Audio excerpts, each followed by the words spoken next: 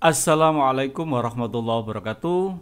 Perkenalkan kami dari BKK SMK Negeri 1 Bangil Kabupaten Pasuruan ingin berpartisipasi dan ikut serta di dalam lomba kinerja BKK tingkat Jawa Timur khususnya untuk kategori khusus yakni kategori untuk BKK yang sudah pernah menjadi juara 1, 2 atau 3 rentang waktu 2014 hingga 2021 dan SMK Negeri 1 Bangil adalah juara 3 di tahun 2015 yang lalu.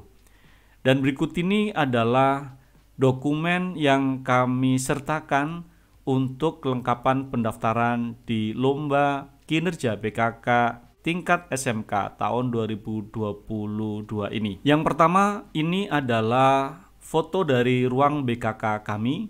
Lokasi ruang BKK ini terletak di luar sehingga orang begitu masuk dari SMK Bangil itu akan melihat langsung ruangan ini sehingga akses ini akan memudahkan siswa ataupun alumni yang ingin mencari pekerjaan untuk bisa datang ke kantor BKK SMKN 1 Bangil.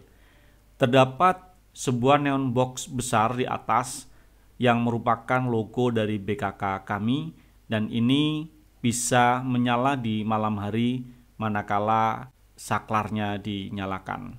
Ini adalah sarana penunjang BKK kami, ada kertas, pulpoint, spidol dan ATK yang lain. Begitu juga dengan beberapa perangkat elektronik, ada printer, ada PC, kemudian ada beberapa LCD proyektor, ada kamera DSLR, dan ada beberapa laptop. Dan ini adalah sarana penunjang BKK kami yang lain, yakni meja untuk berdiskusi antara ketua dengan anggota BKK. Terdapat juga TV LCD yang biasa kami gunakan untuk menampilkan tampilan monitor saat melakukan rapat. Dan ini adalah rak buku sebagai sarana penunjang yang lain. Di dalamnya termasuk buku untuk persiapan kerja.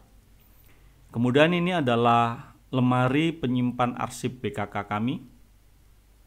Ini untuk prasarana kebugaran di mana tahun ini kami melakukan proses kebugaran terhadap siswa.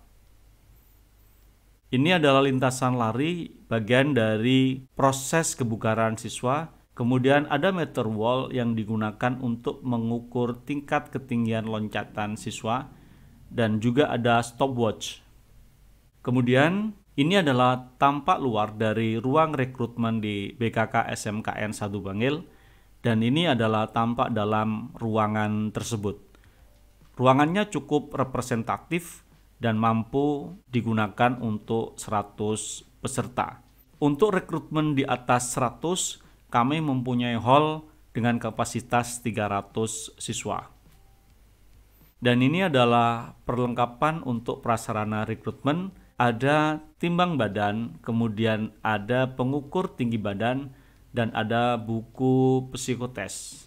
Ini adalah tampak depan dari ruang resepsionis di sini adalah instruksi utama antara siswa ataupun alumni yang melakukan proses pencarian atau pendaftaran pekerjaan.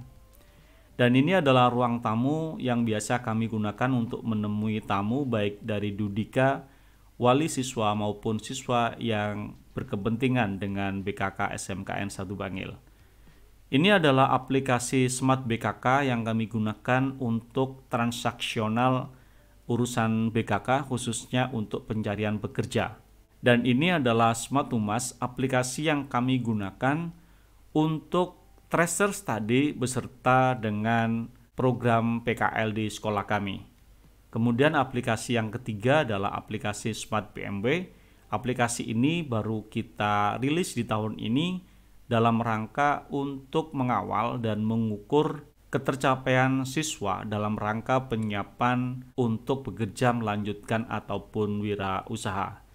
Di aplikasi ini kita mengukur zero absen siswa di mana siswa dengan tingkat absensi paling rendah yang nanti kami prioritaskan beserta menu lain misalnya data karakter, data nilai, data psikotes, data tes Kreplin dan yang lainnya. Dan ini adalah surat tanda daftar BKK di SMKN 1 Bangil yang dikeluarkan kemarin di tanggal 3 Juli 2022. Surat tanda daftar ini baru karena ada proses mutasi dari ketua BKK dari Ketua BKK sebelumnya kepada Bapak Khairon Hussein. Dan ini adalah papan nama BKK yang kami letakkan di luar di bawah papan nama Business Center SMK Mart. Dan berikut ini adalah struktur organisasi BKK SMK Negeri 1 Bangil. Ada ketua BKK, di bawahnya adalah admin BKK dan petugas penelusur alumni petugas informasi pasar kerja dan petugas sukses PMB. Di atasnya adalah Waka Humas dan di atasnya adalah Ibu PLT Kepala Sekolah. Dan paling tinggi adalah pelindung adalah Kepala Disnaker Kabupaten Pasuruan. Dan ini adalah job description untuk personel BKK. Ada job description untuk ketua BKK, untuk admin, job description untuk petugas informasi pasar kerja, kemudian job description untuk petugas sukses BMW dan job description untuk petugas penelusuran alumni. Dan ini adalah program kerja BKK SMK Negeri 1 Bangil tahun 2019-2020. Ini untuk program kerja BKK tahun 2020-2021 dan ini adalah program kerja BKK untuk tahun 2022 dan 2023. Kemudian untuk visi misi BKK SMKN 1 Bangil, visinya adalah terwujudnya bursa kerja khusus yang mampu menjembatani pencari dan pemberi kerja, serta menjadikan tamatan berjiwa wirausaha sekaligus sukses dalam cita-cita melanjutkan sekolah dan ini adalah beberapa misi BKK SMKN 1 Bangil, yakni menjadikan pusat informasi lowongan pekerjaan yang aktual bagi siswa dan alumni SMKN 1 Bangil dan sekolah lainnya. Dua, memberikan pelayanan yang cepat secara digital terhadap alumni dan sekolah lainnya. Tiga, menjalin kerjasama dengan dunia usaha, dunia industri untuk mengadakan kegiatan mulai dari pelatihan, sinkronisasi, magang guru, magang siswa, serta rekrutmen tenaga kerja bagi siswa, alumni, serta sekolah lainnya, memberikan pelayanan berkualitas terhadap alumni melalui pendataan lulusan dan keterserapan tenaga kerja secara berkala, memberikan pelayanan pengetahuan persiapan kerja pada siswa dan alumni secara berkelanjutan, menjalin sinergitas dengan dunia usaha, dunia industri, lembaga pemerintahan, dan komunitas yang terkait dalam keterserapan bagi siswa dan alumni SMKN 1 Bangil. Dan untuk moto BKK adalah mengantar alumni bekerja bahkan sebelum mereka menjadi alumni.